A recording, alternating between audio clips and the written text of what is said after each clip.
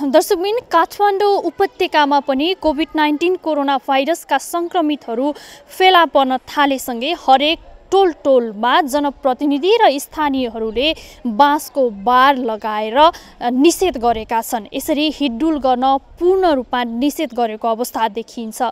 यो निषेध गरिसकेपछि अरू अमानवीय घटना घट्न सक्छन्। यसले अर्को द्वन्द्व निम्त्याउन सक्छ।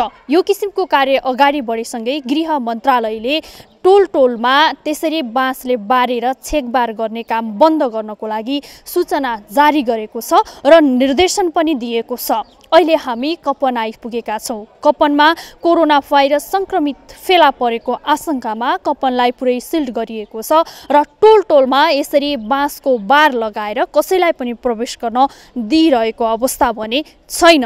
हामीले तपाईँहरूलाई दृश्यमा देखाइरहेका छौँ। यो दृश्य कपनको हो जहाँनिर यो भित्र छिर्ने बाटोनिर स्थानीयहरूलाई यताउता गर्नको लागि दिइएको छैन। सर्वसाधारणलाई बाँसको बार लगाइएको छ। साथसाथै यो बारमा लेखिएको छ बाहिरको मान्छे प्रवेश गर्न निषेध नो इन्ट्री धन्यवाद भनेर लेखिएको छ। जसले गर्दा आम सर्वसाधारणलाई धेरै समस्या भइरहेको छ।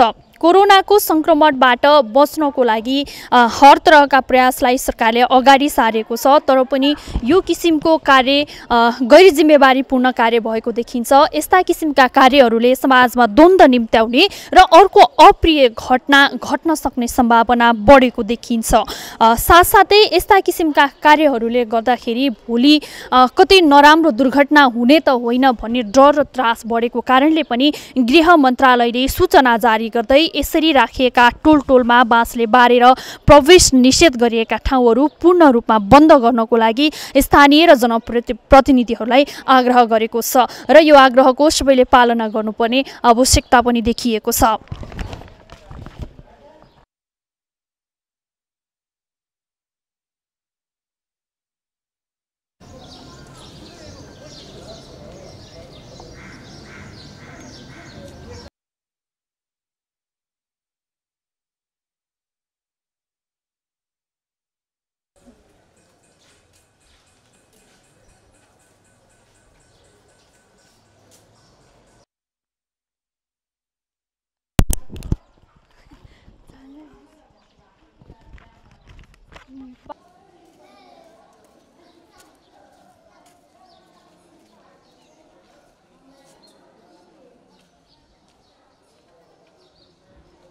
बाहिरको दृश्य देख्दाखेरि आम सर्वसाधारण घरभित्रै बसिरहेका छन् पूर्ण रूपमा पालना गरेको देखिन्छ।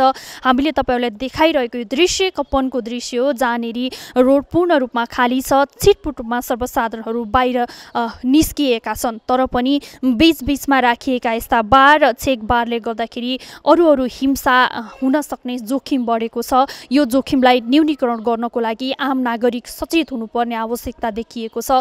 त्यसले गर्दाखेरि पनि बिचबिच यसमा टाँकिएका यस्ता बाँसहरू र यस्ता निषेधाज्ञा लेखिएका कुराहरू हटाउनु पर्ने हुन्छ। एकातिर कोभिड नाइन्टिन कोरोना भाइरसको सङ्क्रमणले आम मानिसहरू त्रसित भइरहेको अवस्थामा यसरी छेकबार लगाएर थप त्रसित बनाउँदा मानिसको मनोविज्ञानमा अर्को किसिमको असर पर्ने र अर्को नो रोग निम्त्याउन सक्ने डर पनि देखिएको छ। त्यसैले यो मनोविज्ञानलाई व्यक्तिको मनोविज्ञानलाई असर गर्ने गरी काम गर्नु राज्यको गैर जिम्मेवारीपूर्ण काम गर्नु मानिन्छ। त्यसैले सबैले आफ्नो नैतिक जिम्मेवारी पालना गर्नुपर्ने आवश्यकता पनि देखिएको छ।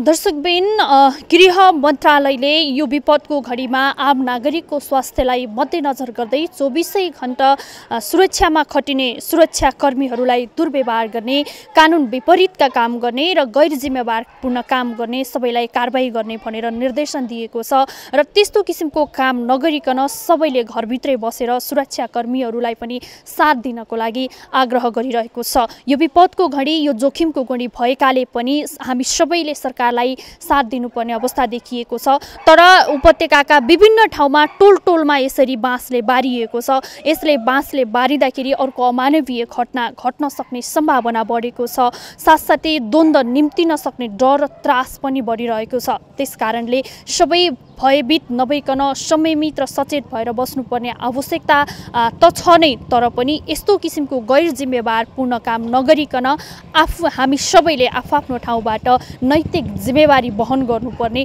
आवश्यकता देखिएको छ र गृह मन्त्रालयले दिएको निर्देशनको पालना आम नागरिकले गर्नुपर्ने आवश्यकता अहिलेको महत्त्वपूर्ण विषय रहेको छ। माउन्टेन टेलिभिजनका लागि क्यामेरामा निखिल कपालीका साथ पुष्पा पोखरेल काठमाडौँ।